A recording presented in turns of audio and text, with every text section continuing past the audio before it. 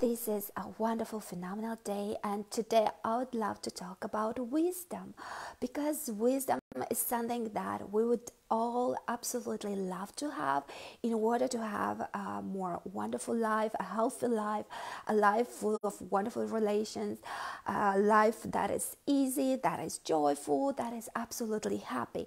And actually, in the Bible, it is said that we need to search and to look for wisdom as we're looking for gold and silver because it is much more valuable.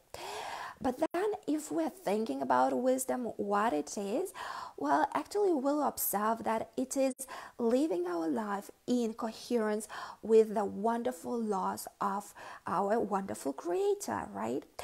And then the question is why very often we are paying a lot in order to accumulate wisdom while we're doing so much to find it, to search for it. We're looking for maybe watching many, many hours, different gurus, different teachers that are talking about wisdom and so on.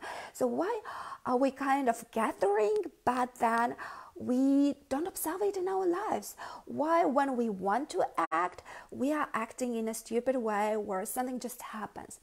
Well, my thought about it is that, you know, here we can truly see the difference between the conscious and the subconscious mind because the conscious mind is the mind where we kind of accumulate information we understand everything. We kind of want to act with the conscious mind but the conscious mind only influences 3% of our results. So if the information is stuck only at the conscious level then we can only influence 3% of our behavior with this information, with this kind of wisdom. But the subconscious mind influences 97% of all our results in life. So, if we manage to send the information from the conscious level to the subconscious level, that information will start working.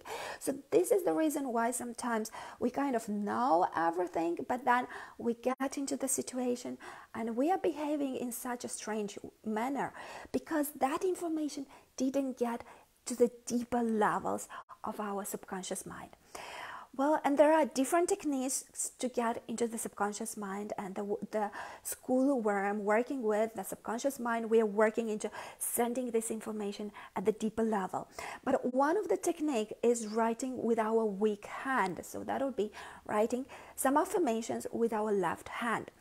Now, when writing with the left hand to send the wisdom words, the information that we want to work in us, in our life as a result, then if we want to do it with the left hand, we must be very careful what we are writing, what we are affirming, because what it could do, it could program something wrong. So the affirmation must be written very correctly. And the writing with the left hand is not that we will write one time and yes, we've activated it at the level of the subconscious mind. No, we'll be doing it repeatedly again and again every day for a longer period of time and then it will get programmed in the subconscious mind. So if we look at our past, how did it work in the past? We'll think about the example, for example, when we were kids, babies, and we were learning to eat with a spoon or a fork. You know, at the beginning it was conscious because we really wanted to get the spoon in the mouth. And at the beginning we yeah, we made some uh, some some mistakes and we could not get inside the moon we get mouth, mouth sorry i'm talking a little bit danish here would get around right but after doing it again and again and again, it got from the conscious level to the subconscious level, and we could get inside the mouth. And the same thing we observed while learning to drive a car at the beginning, maybe you know, it took us several months to get the information from the conscious level to the subconscious level. So this exactly same thing is with wisdom. That's why if there are people that are not working with the subconscious, then there are people like wonderful professors that know many things, are very intelligent, but when looking at their lives, what do we see? We see divorce, we see bad relationships, we see maybe bad were problems at work and so on.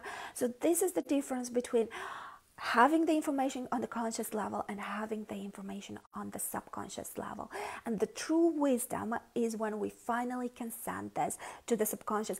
And unfortunately, I do not know any other way to become wise other than work with the subconscious and get inside and get that wonderful affirmations that wonderful programs in the subconscious and removing some mental blocks and removing some things that are making us behaving in a strange in a very very strange way. Remove that from the subconscious. So cleaning up the subconscious. That will bring bring us the true and beautiful wisdom that we are looking for. Well these were the thoughts for today. I'm looking forward to see you tomorrow and i wish you a phenomenal phenomenal day. Bye